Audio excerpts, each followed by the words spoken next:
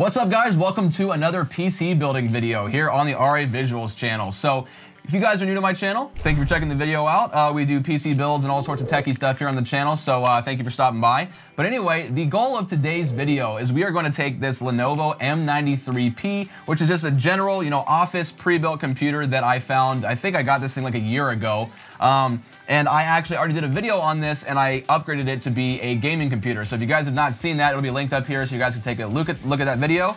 And so what I did is basically uh, I took the stock computer, which already had a one terabyte hard drive, and then it had an Intel i5 4590 or 4570 in there. Anyway, it's one of the 45 uh, 70 90 i5s.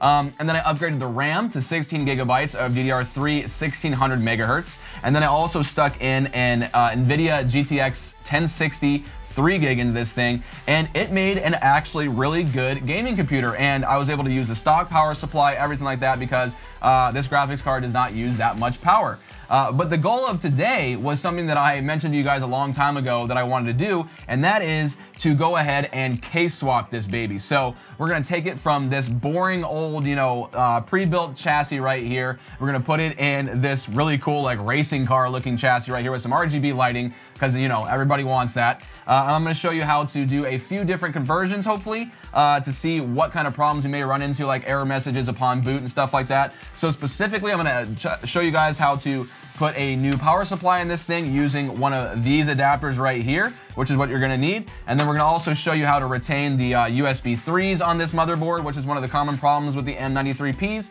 uh, using an adapter right here, which I got to. Uh, so hopefully this should go very smoothly. It should almost be just kind of like a plug and play type situation, but we're gonna find out if it really is right after a word from our sponsor.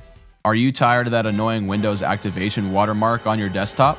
VIP URCD Key has you covered with fully licensed codes to activate your favorite games and software. Purchasing your key is super easy. All you have to do is click on the item that you want, click Buy to add it to your cart. Once in your cart, you can now enter my promo code RAV20. After adding the promo code, you'll see your savings pop up, and you can then purchase your product with your chosen payment method. Finding and entering your Windows 10 CD key is super easy. All you have to do is go over to your user profile, Find your purchase and click View Keys and Codes to reveal your new CD key. Then all you have to do is go to Settings in Windows, click on Update and Security, click on Activation, and finally click on Change Product Key and paste your new key into the window and click Next. You'll now have a fully licensed version of Windows 10 with no watermark. Check the links in the description to start saving now. Okay, so before we start tearing things apart, I want to go ahead and clear up right away a few of the things you're to need to go ahead and make this swap possible just right away um, before you even get started here. So one of the things that you guys may want to do is go ahead and upgrade the power supply. That's a common thing because you may want to use a higher wattage um, graphics card that requires more power. So what you're gonna go ahead and need is you're gonna need one of these adapters right here. So these are very cheap. These You can get these on eBay or Amazon and I'll have a link down below for you guys so you guys can use my affiliate link, uh, help out the channel a little bit and then uh, get you guys uh, a nice little cable right here. So what it basically does is it converts the uh, normal uh, 24 pin on a uh, power supply to the proprietary pin, which I think on this motherboard is a one, two, three, four, five, six, seven. Is that seven? I think it's, yeah, there's seven on, on, each thing. So it's a 14 pin right here. So it's a 24 to 14 pin. So uh, yeah, so it'll basically make this work with the M93's, uh, M93P's uh, motherboard down here. So you're gonna need this adapter right here. Something else that you're gonna need right off the bat, another adapter that you'll need. If you wanna retain the USB 3s when you switch over to another case right here, because this case, I believe, it does have two USB 3s on the front right here, and the M93P also has that. Another reason why I kind of use this case for this. But um, if you wanna retain those USB 3s from this case, uh, you're gonna need a little adapter for it. And the thing that you need to get is this little adapter right here. Let me take it out of the thing right here. It basically just goes in place of the um, proprietary uh, USB 3 hub or the front panel connector and it allows you to go ahead and just convert that into a USB 3 uh, plug. I'll, I'll, show I'll show a closer uh, B-roll shot of it so you guys can actually get a good look at it. But it's a really cool little piece of kit you can pick up from a website called Harbin Repairs. Uh, you can buy this stuff on eBay too. That's where I originally found it. But they make all sorts of cool adapters for uh, Dell Optiplexes and a couple things for the M93P as well. So uh, shout out to those guys. They didn't send that to me or anything like that. Not sponsored. I just found it and uh, it happened to work for our purposes. So those two things are two two adapters you're going to need right off the bat should you want to do those upgrades when you're case swapping this particular computer. So all we got to do first right here is go ahead and start tearing this thing apart and pulling all the parts out. So I'm basically to take almost everything. I'm to take all the stuff that I need uh, with the exclusion of the power supply and the DVD drive, of course. Uh, we're to take it all out, and then we're to see uh, how, it, how we do putting it into the new chassis uh, piece by piece and see what we got to do to, um, you know, make it all work.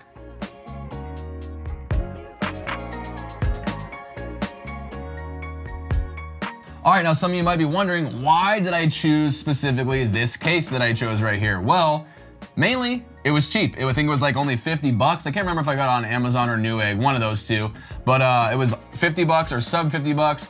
Uh, it comes with three, I believe. Uh, no, four actually. Three in the front and one in the back. Four pre-installed RGB fans. Uh, it has room for a standard size, I think it's standard size ATX and uh, MATX motherboards, and it has enough room to support the build that we're doing. It's actually like a little bit smaller than a standard mid-size. Here, let me go ahead and show that to the side. It's like, it's a little bit skinnier, I think, or I guess not as long as a normal mid-tower would be, and the normal mid-tower comes out a little bit more. Um, so it's a little bit more compact, has a tempered glass side panel and everything like that. So I think it's a screaming deal, you guys. And also, one of the main other reasons was I, that I got this thing was the fans, they all don't need fan headers, actually. Uh, this thing comes with its own fan hub as well. So these fans are powered, I believe, by SATA power, most likely, or Molex power. Uh, so we can run that right from that uh, different power supply we're gonna put in this. All right, so let's go ahead and get this thing opened up so we can go ahead and start putting the motherboard in here, if it hopefully works. We'll find out here. Uh, one thing I was very curious about is if this uh, motherboard right here is some kind of is a standard layout. It looks like a normal like standard uh, micro ATX layout, so hopefully it is. All right, so first thing here, I want to see really quick. I want to test this to see if this motherboard fits and if the layout will even work. If uh, or if this is some weird layout we got to kind of jerry rig it. But I think by looking at it, this looks like a standard micro ATX layout, you guys. So yeah, I think I'll be able to use the actual the headers on or the the standoffs that are already in here I'll add a couple. And I, you guys, that this thing fits in here perfectly. So I'm just gonna go ahead and take these guys right here. I'm just gonna take these little tabs and I'm gonna just bend them real quick. So this is one of those, this is one of those little jerry rigging things you sometimes gotta do with these pre-builds, but hey, if that's all I gotta end up doing today is bending a few tabs so I can make a, an IO shield work, I don't care. Let's go ahead and throw this in here like that. And will it snap in now? I think, oh, I think I got it. So it goes in. So I'm just gonna, honestly guys, I'm gonna leave it like that because when our motherboard goes in, it'll actually push it and it won't, it won't go anywhere. It's gonna be fine. Uh, I could just bend these tabs down. Honestly, I'd probably have to hammer them with this, like that, which I don't, like, uh, it's not worth doing, you guys. It's, it's, it's in there. So there we go.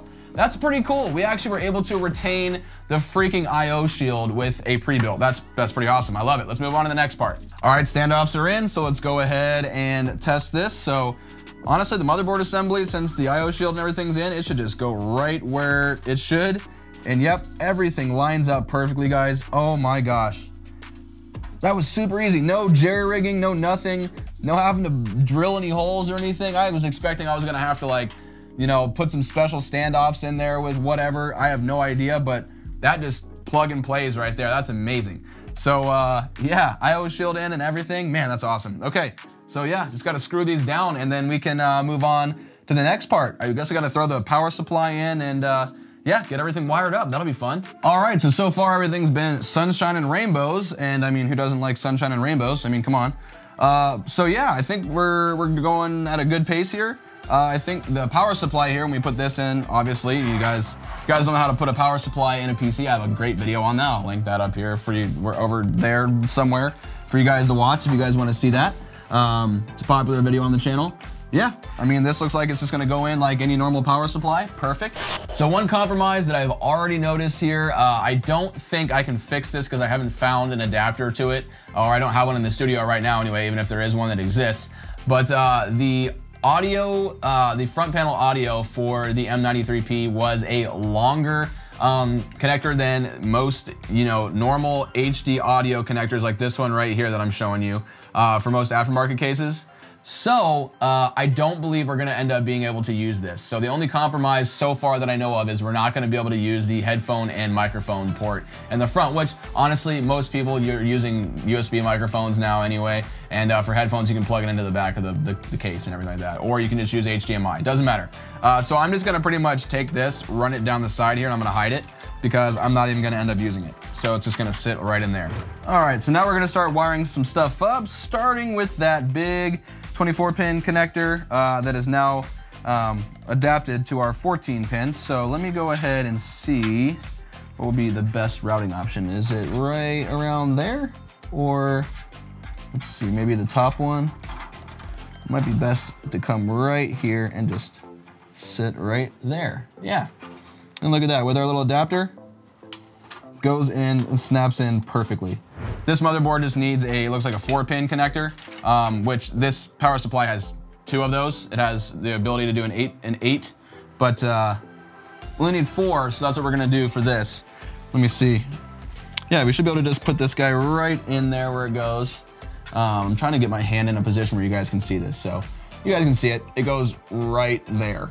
There you go. So I'm gonna go ahead and just put it in there and then I'll let you guys see it.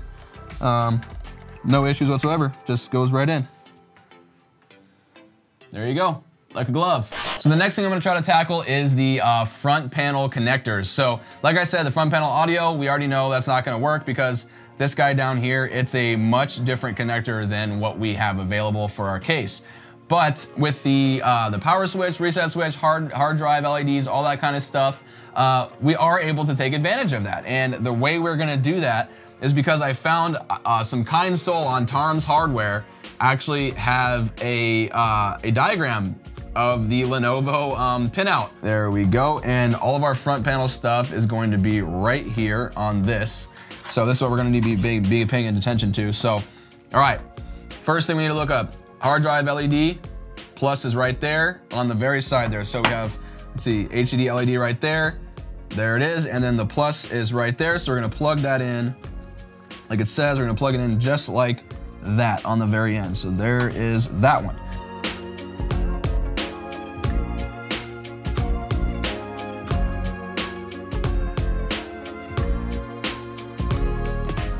All right, next, like I said in the beginning, I, want to, I wanted to retain the USB 3 ports that were on the front of the Lenovo uh, M93P. So like I said on this case, it has two ports just like the M93 did. So we can still do this because this case has a USB 3 connector. And like I said, we are able to utilize this cool little connector right here that I got off Harbin Repairs. Um, again, link will be down below. And so what we gotta do is we gotta just make this match up with the slot right here um, that we took the connector out of. And we just gotta go ahead and slot it in. And it basically changes this into a USB 3 connection. That's all it does. And now with that slotted in, we're able to take our USB 3 cable and plug it in right there. And bam. Now we have USB 3 and it works, hopefully. Well, we'll see. All right, two of my pet peeves so far um, about this case.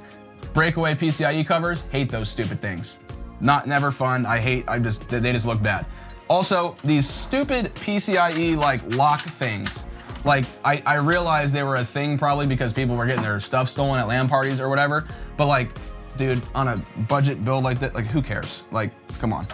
I it just so it's just so annoying. Anyway, I digress. Let's go ahead and just uh, put this graphics card in. Can I? I can't even see where it's going right now.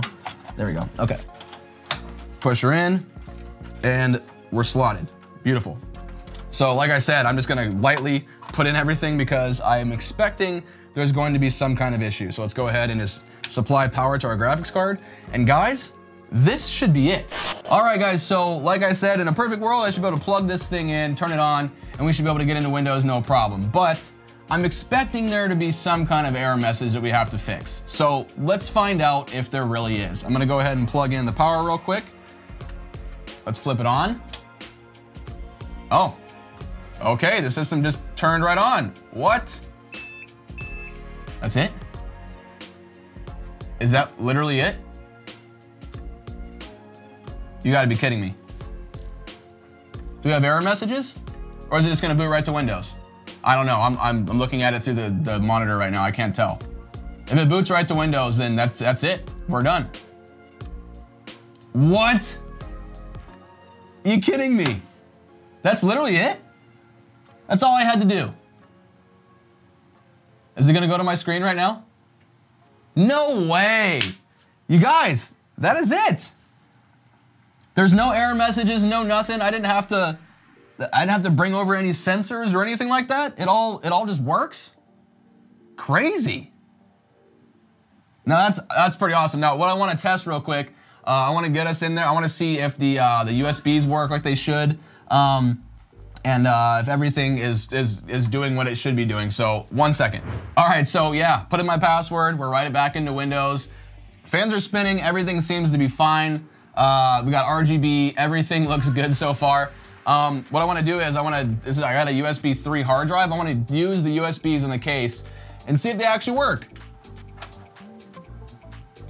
Yeah, the USB 3s actually work. That's awesome. So yeah, guys, everything works so far. Uh, and actually, the front panel diagram that I showed you guys, it does work. Look at this. So if you guys can see, the front panel lights, they're blinking. They work. So all the front panel stuff actually does work. So let me see if I can, if, if the, uh, the power button actually works, let me see if I can shut the computer off with it. It's working. No way. That's so awesome. Everything, guys, this was so easy.